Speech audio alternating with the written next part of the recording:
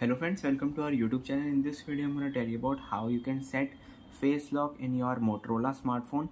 Before watching this video if you have not subscribed to our youtube channel then subscribe to it and like our video. So let's start friends. First you have to simply open your settings like this. Then you have to come to security and privacy. Here it is device unlock.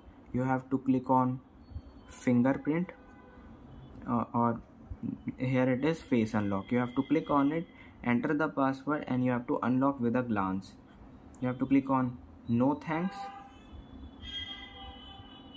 The setup here you have to click on setup and you have to recognize your face. Friends you can see it recognizes my face then you have to press on next and you can see okay now you are ready to unlock your phones with your face lock. And just open the smartphone and friends you can see it is open I hope you like this video. If you like this video then subscribe to our YouTube channel for more helpful tips and tricks videos. See you next time.